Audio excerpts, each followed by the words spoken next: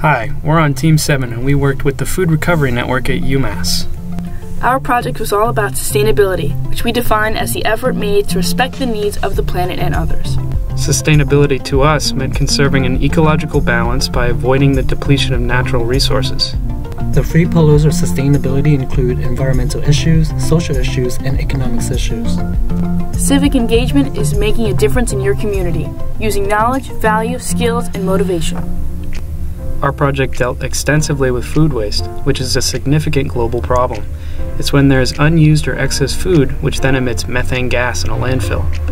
Around 1.3 billion pounds of food is wasted globally, and that's equivalent to about 650,000 tons or 325,000 normal cars. How much food do you think is wasted at UMass? Like in amount? Like in all the dining halls? Yeah. Um, 10 million tons. Two tons. Um, around 2.4 tons. UMass, home to nearly 30,000 students, definitely has a large footprint regarding food, but a considerable portion of that food is not even used, but composted. And there are still those who aren't sure where their next meals are coming from in our community.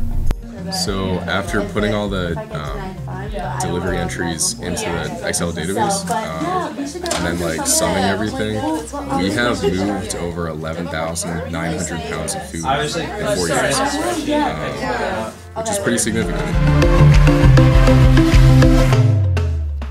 We as a group collected and delivered excess food from the Berkshire and Worcester dining commons and delivered it to those in need at the North Village Apartments and the Craig Storrs First Baptist Church on and around campus. Initially, when I thought about sustainability, I didn't consider the social aspects. But after volunteering, it's clear sustainability relates to much more than that, and there's much to do about food insecurity. During this semester, I've discovered what volunteering means to me and what giving back to my community looks like, and I learned how much of a difference an individual effort can make. The thing about the Food Recovery Network is it's such an easy way to get involved and make a tangible difference.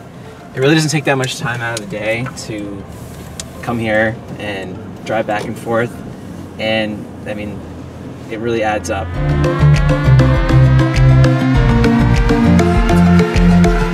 Volunteering at Food Recovery Network has been an eye-opening experience for my first semester of college. I've met wonderful and enthusiastic volunteers and leaders here. Uh, it has a lot to do with, you know, spending your time trying to help the, the less fortunate people as well as, um, you know, just helping your fellow man.